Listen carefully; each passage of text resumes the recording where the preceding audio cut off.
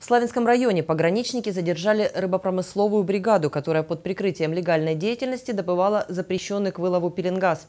Свой незаконный промысел рыбаки развернули на реке Протока в окрестностях поселка Ачуева. Браконьеров задержали сотрудники пограничного управления ФСБ России по Краснодарскому краю. В рамках следственных действий было установлено, что всего за несколько часов промысла в смертоносных сетях недобропорядочных рыбаков оказалось около 1800 особей пеленгаса, вылов которого до конца этого года запрещен. Ущерб составил порядка полумиллиона рублей. Рассматривается вопрос о возбуждении уголовного дела. Статья 256 Уголовного кодекса Российской Федерации предусматривает ответственность вплоть до лишения лишения свободы. У браконьеров изъяты улов, орудия промысла, а также лодка. Следственные действия продолжаются.